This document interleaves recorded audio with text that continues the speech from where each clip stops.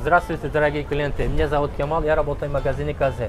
Хочу вам сразу сказать, у нас очень скоро, скоро, очень скоро, 19, 20, 21 числа в Узбекистане, Ташкента выставка Ка- фирма КЗ.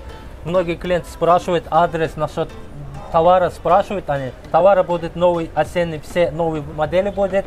Э, насчет адреса, вот Ибрагим скажет вам, он все вам объяснит насчет адреса, насчет товара.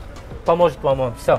Hammaga assalomu alaykum. Firma Kaze, Kaze oilasi bilan birgalikda Toshkentga, O'zbekiston Toshkent, Amir Temur 100 e, yuz 107 e, adresida ko'rgazma, Expo ko'rgazma savdosida bo'lamiz. Bugun bu videoni e, kommentariyada, direktda yozilgan savollar bilan savollarga javob bergimiz keldi. Shuning uchun shu videoni olishga harakat qilamiz. Э, savollardan birinchisi bu e, dona sotish bo'ladimi? Dona sotish bo'ladi, faqatgina 3-kuni obeddan keyin, soat 12 dan keyin dona sotish bo'ladi, xudo xohlasa e, Qolgan kunlari faqatgina e, optim zakazdan olamiz. Butiklari bo'lgan, женский jenskiy kim sotadigan bo'lsa agar kelishinglar mumkin. Tijorat bilan shug'ullanadigan hamma butikchilarni kutib qolamiz.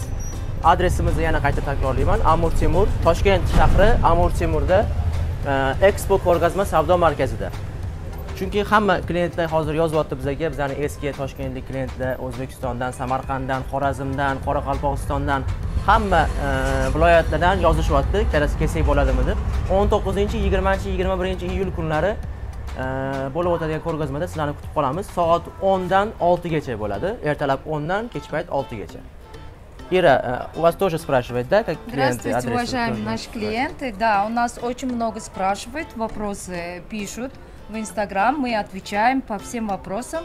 Э, У нас выставка 19, 20, 21 в Узбекистане, в Ташкенте. Также новый сезон новой коллекции. Можете приехать посмотреть, а также сотрудник по работе Ибрагим вам поможет. Спасибо. До свидания. До До свидания. свидания.